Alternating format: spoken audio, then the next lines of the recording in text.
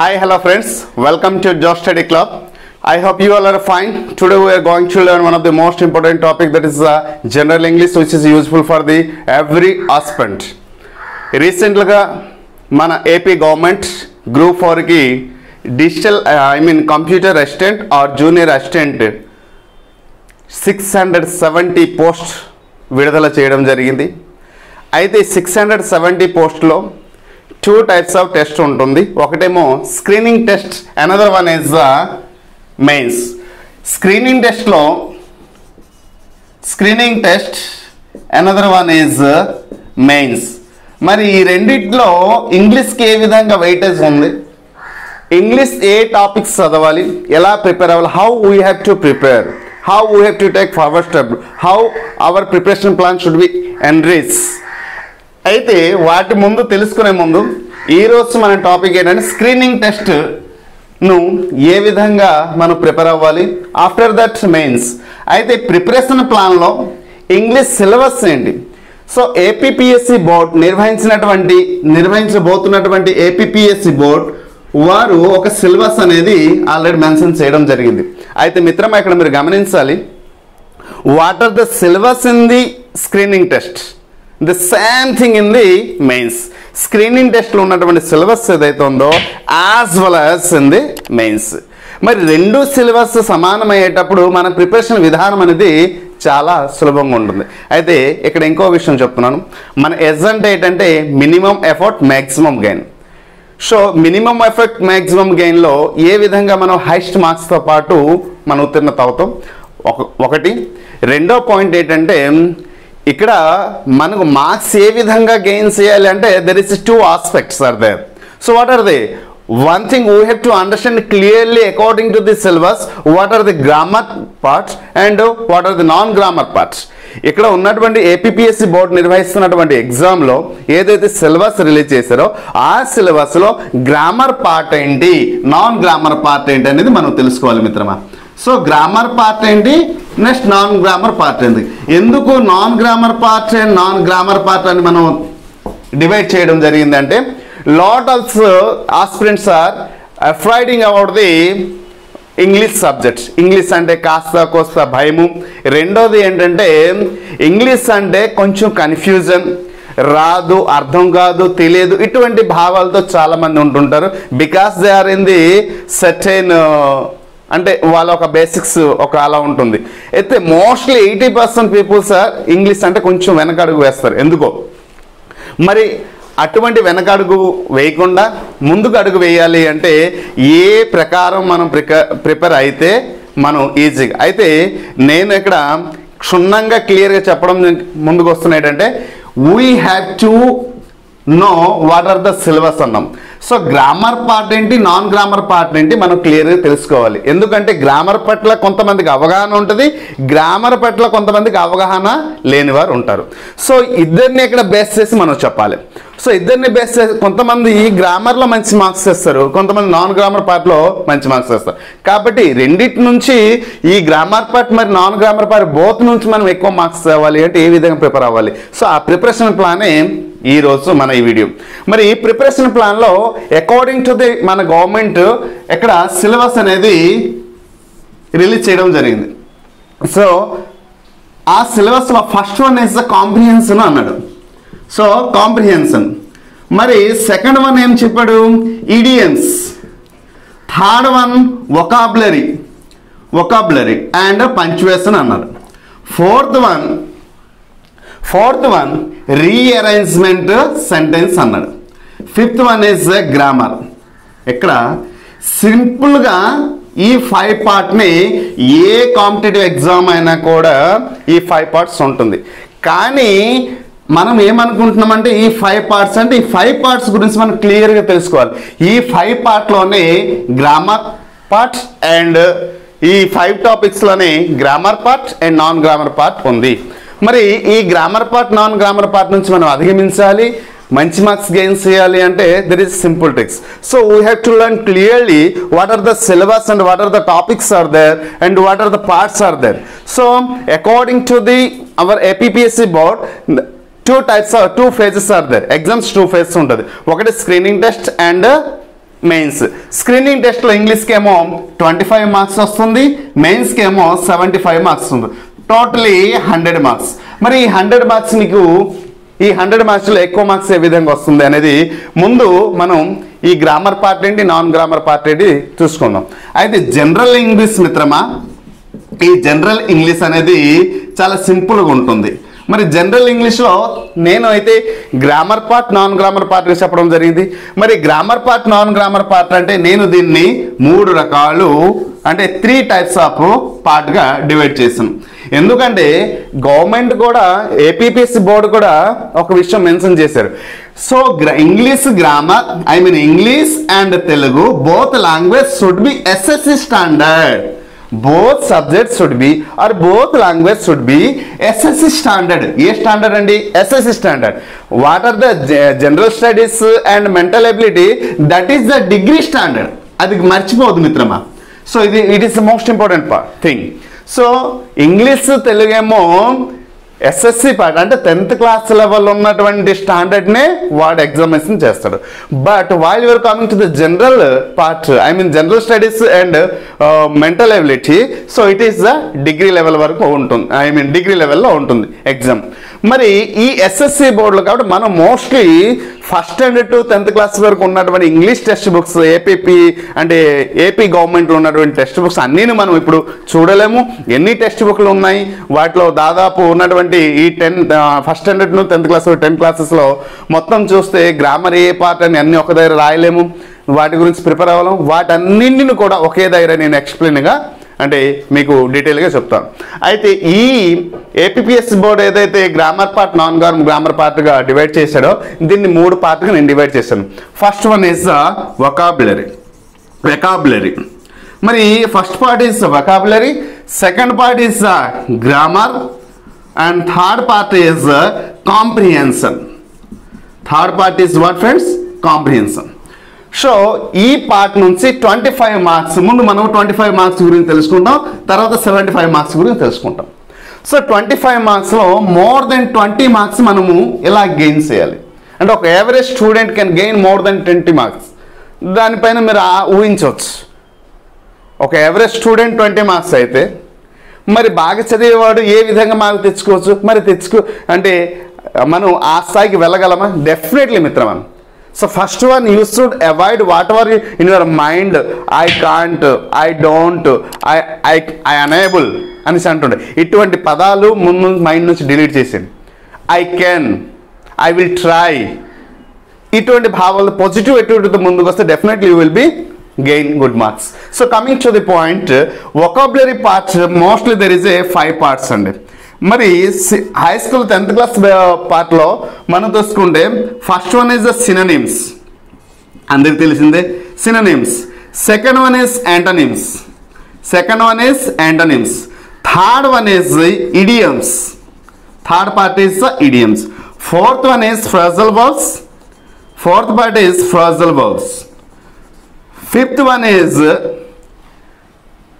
phrasal verbs one word one word substitution so one word substitution these five parts plays major role in the any grammar I mean general grammar అయితే Mostly నేను ఇక్కడ నుంచి five marks definitely మనం ఈ twenty five marks మనం చూడొచ్చు. Definitely we can see in the examination five marks అండి. Every topic నుంచి there is one question sure damn sure I mean the synonyms నుంచి వన్ మార్క్స్ అంటనిమ్స్ ఇడియమ్స్ నుంచి phrasal verb అని one word so ఈ five part నుంచి five marks more than ఎక్కువైనా ఉండవచ్చు more than ఎక్కువైనా ఉండవచ్చు మోర్ దెన్ ఎలా ఉండబోతుంది కూడా చెప్తా. తర్వాత సినిమ్స్ ఏ విధంగా క్వశ్చన్స్ అడుగుతున్నాడు? ఎంటనిమ్స్లో ఏ విధంగా క్వశ్చన్ అడగబోతున్నాడు? ఇడియన్స్లో ఏ విధంగా క్వశ్చన్స్ వస్తాయి?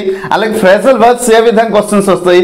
వన్ వర్డ్ సర్చ్ చేస్తున్న how the question is in in screening test as well as mains వాటి గురించి మనం తెలుసుకునే ముందు what are the topics in the grammar we have to learn clearly so here I'm going to divided a grammar parts so second one is మీకు తర్వాత చెప్తాను మిత్రమా grammar part ఏంటి నాన్ గ్రామర్ పార్ట్ ఏంటి ఎలా మనం గెయిన్ చేయాలి మాకని వాటి గురించి డీటెయిల్ ముందు I'm going to present at first what are that syllabus and what are the topics in the exam I mean okay so first one is the sentence అండి. Sentence sentence means there is a four types of sentence we know available from the childhood so the what are the assertive sentence imperative sentence interrogative sentence and exclamatory sentence so it is the basic knowledge for every aspirant ప్రతి ఒక్కరికి ఉండాల్సిన basic knowledge ఎందుకంటే it is a most important sentence కూడా English గ్రామర్లో వస్తుందా ఎగ్జామ్లో అంటే వస్తుందో లేదో తర్వాత విషయం మనం మా తెలుసుకుంటే ఇది చాలా ఇంపార్టెంట్ రోల్ ప్లే కూడా చేస్తుంది. While you're going to learn active spaces while you're going to learn space while you're going to the direct indirect space so whatever we're going to there simple compound complex so everything we ఇది and question take also so ఈ part అనేది మనకి చాలా important అవుతుంది. Then second one is gender మరి gender ఎందుకు తెలుసుకోవాలి? Gender కూడా తెలుసుకోవాలి. There is four types of gender మరి what are there masculine gender feminine gender common gender neuter gender how we're using the easy it so why we're using there he seat why we have to learn gender gender నుంచి question వస్తుందో లేదో పక్కన పెడితే gender ముందు తెలుసుకునే ముందు ఏంటవుతుందో? While you are going to the write the helping works it's essential to learn the it is a masculine gender or feminine gender or neuter gender whatever ఉన్నటువంటి four genders ఏదైతే ఉందో వాటి గురించి మనం క్లియర్గా తెలుసుకోవాలి అంటే మరి హెల్పింగ్ వెర్బ్ కోసం రాసేటప్పుడు ఇది హెల్ప్ఫుల్ అవుతుంది. Then third one is the singular and plural మిత్రమా? Singular and plural. It is one of the most important parts. But uh, it is simple these three things are the basic knowledge. These three things are the basic knowledge but uh, it plays a major role in the examination ఇవి చూడడానికి చాలా single అంటే సింపుల్గా ఉంటాయి వింటుంటే చాలా "ఓ, ఇదేనా అన్నట్టు ఉంటుంది but it plays a major role how it plays a major role we have to know clearly so singular and plural sometimes some words are there in always singular some but we know very well which word we are adding to yes we say that is a uh, plural if there is not yes there is we say that is a singular but sometimes it is not correct maybe sometimes it is correct but some in it is not always correct కాబట్టి some words are there including with S but it is a singular some words without S always they are they plays S singular role అంటే plural role కొన్ని పదాలు ఎస్తో పాటు కలిగి ఉన్న పదాలు కూడా సింగులర్ రోల్ ప్లే చేస్తుంది కొన్ని పదాలు ఉన్నాయి ఎస్కు లేకుండా కొన్ని పదాలు ఉన్నాయి ఆ పదాలు కూడా ప్లూరల్ రోల్ ప్లే చేస్తుంది. కాబట్టి అటువంటి క్వశ్చన్స్ కూడా అడిగే అవకాశాలు ఉంటున్నాయి. ఎందుకంటే ఎస్ఎస్సి స్టాండర్డ్ కాబట్టి అడిగే అవకాశాలు ఉంటాయి ఒకవేళ అటువంటి క్వశ్చన్స్ అడగలేదు అనుకోండి అది మనకి టెన్స్లో హెల్ప్ఫుల్ అవుతుంది. ఇప్పుడు సింగులర్ ప్లూరల్ గురించి నేను తెలుసుకునేటప్పుడు అలాగే పాటా ఆఫ్ స్పీచ్లో హెల్ప్ఫుల్ అవుతుంది. అలాగే డైరెక్ట్ ఇండెక్ట్ స్పీచ్లో హెల్ప్ఫుల్ అవుతుంది. అలాగే ఎక్కువ స్పేసెస్లో వీటి గురించి ఒక హెల్ప్ఫుల్ అవుతుంది. కాబట్టి ఈ మూడు పార్ట్లు అనేది జనరల్ పార్ట్ దెన్ అసలైన పార్ట్ ఇప్పుడు వచ్చాం మిత్రమా. So what are the that is the part of speech parts of speech it is most one of the important part in English grammar English గ్రామర్లో if you learn clearly part of speech you you command English grammar subject అంతే. Part of speech కానీ మీరు క్లియర్గా నేర్చుకుంటే you can comment మీరు comment చేసుకున్నట్టే. మీ చేతిలో మీ commanding వస్తున్నట్టే. So it is the most one of the major part if you learn clear the part of space you can understand other things are clearly so at first you're see part of speech what are the part of speech there are eight types of part of speech మరి part of speech అంటే ఏంటి? Noun pronoun word word verb adjective preparation conjunction interjection these are the kinds of the part of speech part of speech means what మనం ఈ వీటి అన్నిటికి మన వీడియోస్లో అయితే చాలా డీటెయిల్గా డెప్త్గా ప్రతిదీ ఎక్స్ప్లెయిన్ చేయబోతాం చేస్తాము. ఆల్రెడీ చేస్తున్నాం కూడా. సో కాబట్టి పార్ట్స్ ఆఫ్ స్పీచ్ గురించి ఎందుకంటే మిత్రం నేను ఒక విషయం చెప్తున్నాను చూడండి. ఈ ఎయిట్ పార్ట్స్ ఆఫ్ స్పీచ్లో మనం ఒక ప్రిపోజిషన్ని తీసుకుందాం. ఈ ప్రిపోజిషన్లో ఆఫ్టర్ అనే వార్డ్ని తీసుకుంటాం. మరి ఆఫ్టర్ అనే వార్డ్ని తీసుకుంటే ఈ ఆఫ్టర్ అనే వార్డ్లో నేను ఒక కొన్ని నాలుగు సన్నెన్స్ తయారు చేస్తాను చూడండి. ఎందుకు ఇది క్లియర్గా నేర్చుకోవాలంటే చూడండి. He Prashamsa Prashanth sir came after ఇలా క్వశ్చన్ ఉంటుంది? Underline the word find out the part of speech of the underline word అంటాడు ఎగ్జామ్లో ఇంకో క్వశ్చన్ ఇస్తాను. Prashamsa Prashamsa came after I had left so second one third one Prashamsa came after dinner.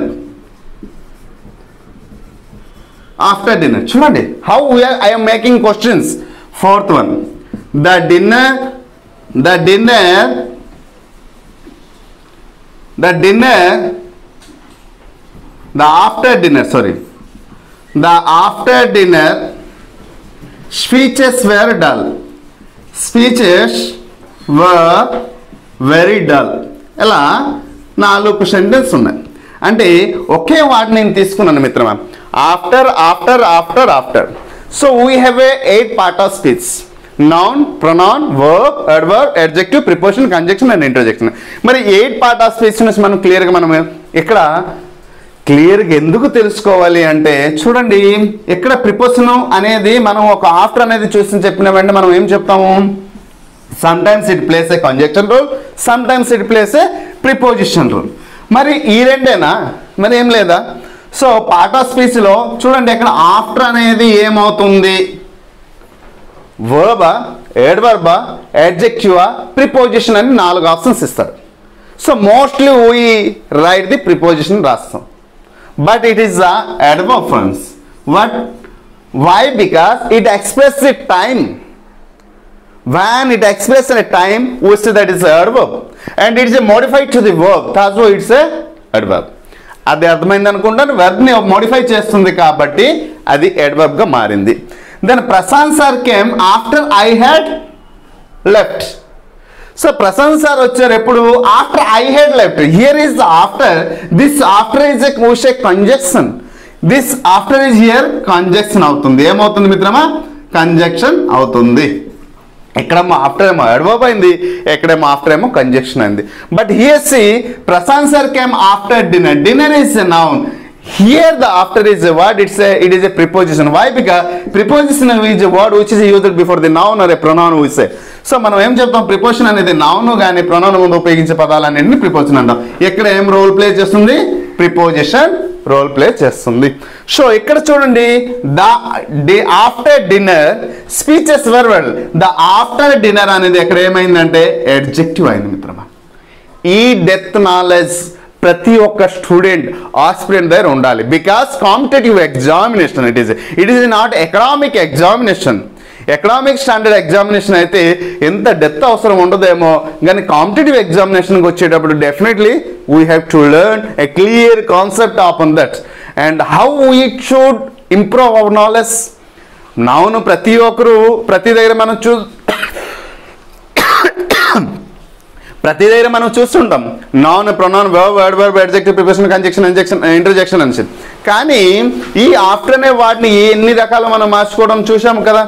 So ఈ depth knowledge అని తెలుసుకోవాలి. మరి ఈ depth knowledge ఎలా తెలుసుకోవాలంటే we have to know clear difference between the adverb adjective preposition and conjunction and pronoun so ఆ difference మనం తెలుసుకోవడం definitely you will be gain mostly part of స్పీచ్లో eighty kinds ఉన్నాయి మిత్రమా? వాటన్నిటి గురించి డీటెయిల్గా అయితే some tricks also there some tricks also there మరి ఇవన్నీ ఎలా గుర్తుంచుకుంటాము? అంటే some tricks are there we have to follow okay then part of speech then come tense tense అంటే అందరికీ తెలిసిన చిన్నప్పటి నుంచి మనం చదువుకున్నవి.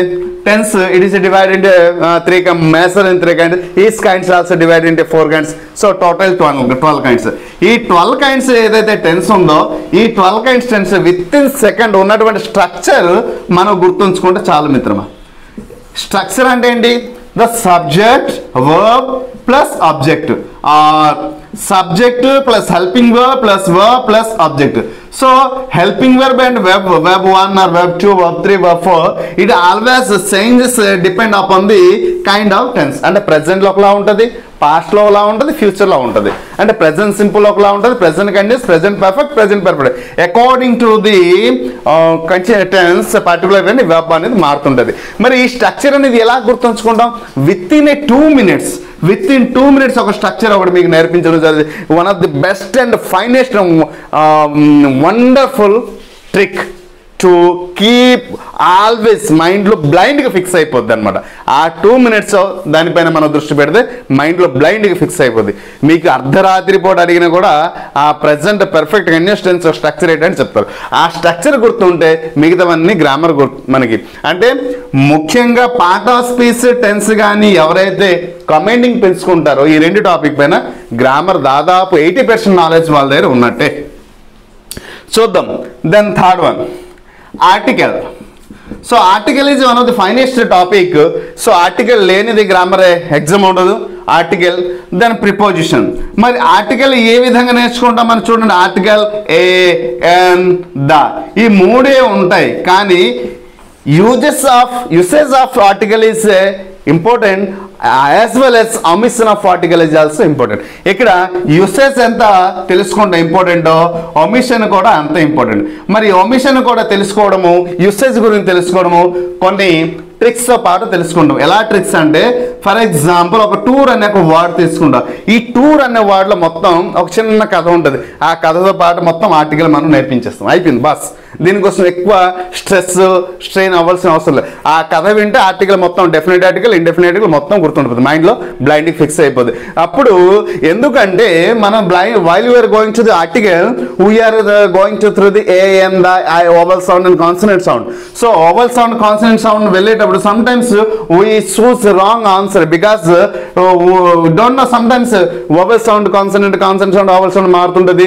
తర్వాత వార్డ్ ఒక ప్రజెంట్ చేస్తున్న ఫంక్షన్స్ మారుతుంటుంది కాబట్టి అప్పుడు రాంగ్ చూస్ చేయడానికి. కానీ అటువంటి క్వశ్చన్స్ కూడా రాంగ్ చూడ చూ చేయకుండా కరెక్ట్ ఆన్సర్ మనం చూస్ చేయడానికి బాగుండడానికి ఇది హెల్ప్ఫుల్ అవుతుంది. Okay? Then coming to the article preposition and one of the most important things voice voice then question tag question tag is after learning tense it is a while you are going to the learning a tense part uh, and we understand about the te- question tag question tag కూడా ఇక్కడ క్లియర్గా అర్థమైపోద్ది మరి వాయిస్లో కూడా ఇక్కడ ఇక్కడ while you are coming to the voice and speech voice and speech and simple this is called uh, analysis of sentence we can say analysis of sentence i mean analysis of sentence means uh, simple compound simple compound complex so analysis of sentence and degree of comparison మిత్రమా.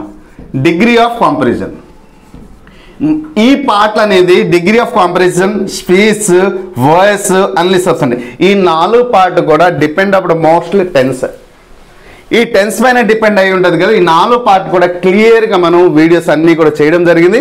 ఇంకా మీరు కూడా నేర్చుకుంటారు క్లియర్గా with simple tricks simple definition tense గురించి ఎలా తెలుసుకుంటారో తెలుసండి? ఏదైనా ఒక స్ట్రక్చర్ని మనం చూసిన వెంటనే for example Rama is a son of king Dasharatha అంటాం. Rama is a son of king Dasharatha అంటాం. ఇలాంటి సెంటెన్స్ ఒకటి ఉంది.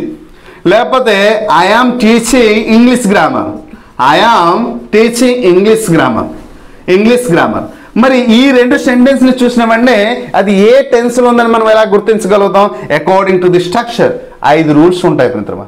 ఐదు ట్రిక్స్ ఉంటాయి. ఈ ట్రిక్ ఒక బెస్ట్ ట్రిక్ అనమాట ఈ బెస్ట్ ట్రిక్ ఏంటంటే ఆ ట్రిక్ బట్టి ఇది ఏ టెన్స్లో ఉంది? అది ప్రెసెంట్ సింపులా ప్రెసెంట్ కంటిన్యూస్ ఇది ప్రెసెంట్ టెన్సా పాస్టా ఫ్యూచర్ అనేది దాన్ని బట్టి మనం క్లాస్లో మనం డీటెయిల్గా చెప్తాం. దానికి కొన్ని ఫార్ములాస్ ఉంటాయి ఆ ట్రిక్స్ ఉంటాయి దాన్ని బట్టి వెళ్తే ప్రతిదీ మనం బైహెడ్ చేయవలసిన అవసరం లేదు. కొన్ని ఈజియెస్ట్ ట్రిక్స్ ఉంటాయి కొన్ని అండర్స్టాండబుల్ ట్రిక్స్ ఉంటాయి కొన్ని లింక్ అప్ ట్రిక్స్ ఉంటాయి. వాటి గురించి మనం వాటిని ఫాలో అయితే definitely will store everything in our mind. Then coming to the ఇప్పుడు degree of competition analysis of sentence and ఎక్కడ మనం చూస్తే స్పీచ్ వాయిస్. ఈ నాలుగు పార్ట్ కూడా టెన్స్ మీద డిపెండ్ అవుతుంది. కానీ టెన్స్ నేర్పించిన తర్వాత దీన్ని ట్రాన్స్ఫార్మేషన్ ఆఫ్ సెంటెన్స్ కూడా అంటారు. దీన్ని ట్రాన్స్ఫార్మేషన్ ఆఫ్ సెంటెన్స్. వాడు ఏమి ఇస్తాడు అంటే క్వశ్చన్స్ ఎలా ఇస్తాడు స్పీ వాయిస్ నుంచి?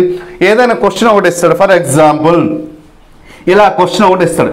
I gave him an apple an apple so ఈ దీన్ని convert the sentence choose the right option of the A B C D ఇలా నాలుగు ఆప్షన్స్ ఉంటాయి. ఇక్కడ choose the structure of the following structure following sentence or passive voice in the following sentence అంటాడు. ఇక్కడ నాలుగు ఉన్నటువంటి ఆప్షన్లో ఉన్నటువంటి ఆప్షన్స్ ఎలా ఉంటుంది? An apple was okay given me to to him by me ఇది ఫస్ట్ ఆప్షన్ ఉంటుంది రైట్ ఆన్సర్ రాంగ్ ఆన్సర్ ఏం చేస్తాడు? వజ్కి వేరైనా ఒక దగ్గర మారుస్తాడు లేదా ఈజీ అయినా మారుస్తాడు. ఇంకొక దగ్గర ఇక్కడ గివెన్కి గివింగ్ అనేసి కూడా ఇస్తుంటాడు ఇక్కడ టూ హమ్ ఏమో లాస్ట్కి ఇస్తుంటాడు. ఇలా డిఫరెంట్ డిఫరెంట్ కొంచెం కొంచెం మార్క్ చేసి ఇస్తారు. వాటి గురించి మనం క్లాస్ చెప్పేటప్పుడు ఆ టాపిక్ వచ్చేటప్పుడు క్లియర్గా మనం తెలుసుకుంటాం. Just I'm going to the basic knowledge of the syllabus ఇది అండి. Next one of the most important topic last error అండి. ఎర్రర్ అండ్ పంచువేషన్ సిలబస్లో ఆల్రెడీ మెన్షన్ చేశారు కాబట్టి పంచువేషన్ గురించి కూడా తెలుసుకుంటాం. ఓకే ఎర్రర్ పంచువేషన్ అండ్ ఎండర్ పంచువేషన్లో comma full stop semicolon semicolon dash parenthesis how we have invited comma how we're go in using in this sentence ఒక for example Rama said to Krishna he is going to I'm going to college అనే సెంటెన్స్లో ఎక్కడ కామ వస్తుంది ఎక్కడ full stop వస్తుంది ఎక్కడ invented కామ వస్తుంది అనేసి వాడు అడుగుతాడు. సో అటువంటి సెంటెన్స్లో దాన్ని చూస్ పర్ఫెక్ట్ పంచుయేషన్ మార్క్స్ అని అడుగుతాడు. సో పంచుయేషన్ మార్క్స్ అనేది మనం ఈజీగా తెలుసుకుంటాం. కామా పుల్ స్టాప్ అలాగే క్వశ్చన్ మార్క్ ఇటువంటి సింబల్స్ ఏదైతే ఉన్నాయో ఆ సింబల్స్ గురించి ఈ టాపిక్లో క్లియర్ నెక్స్ట్ ఎర్రర్ పార్ట్ మిత్రమా. One of the most important topic తప్పనిసరిగా ఎర్రర్ పార్ట్ నుంచి క్వశ్చన్స్ అనేది ప్రతి ఒక్క ఎగ్జామ్లో ఉంటుంది. Either state exam or central exam. Central means SSC or IBPS so while your coming to the IBPS and SSC board quite different between these మన APSC బోర్డుకి IBPS బోర్డుకి ఎస్ఎస్సి బోర్డుకి చాలా డిఫరెంట్ ఉన్నది. Topic are the same but asking question is variation lot of different between these two three boards ఇక్కడ ఉన్నటువంటి three బోర్డ్స్కి చాలా డిఫరెంట్ ఉంటుంది మిత్రమా. కాబట్టి వీటి గురించి క్లియర్గా మనం తెలుసుకుంటాం. దెన్ కమింగ్ టువర్డ్స్ కాంప్రిహెన్షన్ ఈ కాంప్రిహెన్షన్లో ఇక్కడ మనం తెలుసుకుంటాం మోస్ట్లీ దీని నుంచి టెన్ మార్క్స్ వచ్చే అవకాశాలు ఉంటాయి మిత్రమా. టెన్ మార్క్స్ ఉన్నటువంటి ఈ టెన్ టాపిక్స్ అయితే ఈ టెన్ మార్క్స్లో దాదాపు మనము ఒక త్రీ టాపిక్స్ మనం ఏం చెప్పామంటే బేసిక్స్ నాలెడ్జ్ గురించి చెప్పాం. దీని నుంచి రావచ్చు రాకపోవచ్చు. బట్ ఎక్కడ ఉన్నటువంటి క్వశ్చన్ టాపిక్ నుంచి డెఫినెట్లీ ప్రతి టాపిక్ నుంచి ఒక క్వశ్చన్ మాత్రం టచ్ చేసి వెళ్తాడు. So ten marks definitely grammar part నుంచి వస్తుంది.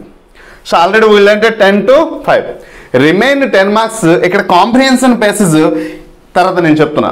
ముందు వస్తున్న పాయింట్కి కాంప్రిహెన్షన్ స్టెప్ పేసెస్ ఉంటుంది. ఇక్కడ కాంప్రిహెన్షన్ పేసెస్ ఒకటి క్లోజ్ టెస్ట్ కూడా ఉంటుంది మిత్రమా. క్లోజ్ టెస్ట్ తర్వాత సిలబస్లో మెన్ మెన్షన్ చేసింది ఏంటంటే రీఅరేంజ్మెంట్ ఆఫ్ సెంటెన్స్ ఈ అంటే ఏదైనా కాంప్రిహెన్షన్ ప్యాసేజ్ అయినా ఇవ్వచ్చు క్లాస్ టెస్ట్ అయినా ఇవ్వచ్చు. ఈ రెండు ఈ రెండు కూడా సేమే కాబట్టి ఇక్కడ ముఖ్యంగా రెండు పార్ట్లు ఉంటాయి. ఒకటి comprehension passages second one is the rearrangement sentence so comprehension passages అనేది సమ్ టైమ్స్ ఫోర్ మార్క్స్ ఇవ్వచ్చు ఫైవ్ మార్క్స్ ఇవ్వచ్చు.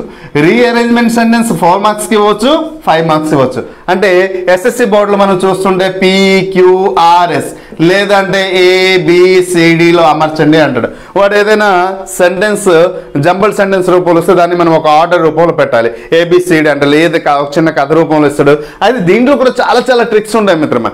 అయితే while you're coming to the comprehension part most most of the aspirant ఏం చేస్తున్నారు అంటే ఇట్ విల్ సార్ నాకు time సాలేదు so hence I didn't sure the right answer so ఆ పార్ట్ని నేను టచ్ చేయలేకపోయాను. I didn't understand what are the what is the theme of the comprehension అక్కడ ఉన్నటువంటి ప్లేసెస్లో థీమ్ని నేను అర్థం చేసుకోలేకపోయాను.